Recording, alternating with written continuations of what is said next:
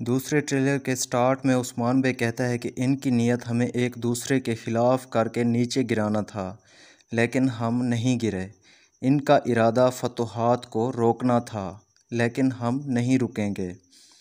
जबकि एक सीन में दिखाते हैं कि सालतूक को कत्ल कर दिया जाता है, जबकि उस्मान उसको देखकर सालतूक पुकारता है।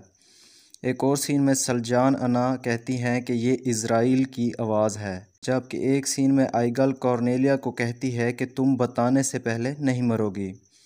एक और सीन में इब्राहिम फ़कीर कहता है कि इब्राहिम फ़कीर और बारकन का राज अफशा नहीं होगा, जबकि एक सीन में दिखाया जाता है कि निकोला उस्ताद कह के चौंक जाता है।